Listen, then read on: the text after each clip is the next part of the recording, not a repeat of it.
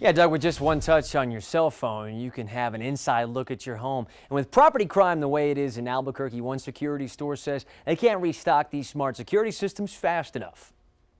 You've seen it too often on Action 7 News. Suspects breaking into cars and houses, all caught on smart security systems. And one security store tells us those systems are in high demand. The home invasions are the scariest that we hear they just happen so quickly and people are usually very unprepared for it. There's indoor, there's outdoor cameras. Tom Meyer at Security Source is seeing more and more victims of crime walk into his store. I hate to say it, but we're almost expecting it when they walk through the door. We know that they're going to have some story of something that's happened and they're trying to remedy that problem. And Tom says business is booming, telling us that 10 to 20 customers come into this very shop a day asking about surveillance options. Many of them turn to security systems you can monitor anywhere from your cell phone. There's been situations where people have been able to call the police before someone's broken in because they can tell that they have the intent from the outside. A similar situation unfolded yesterday. Investigators say a man watched Jacob Pacheco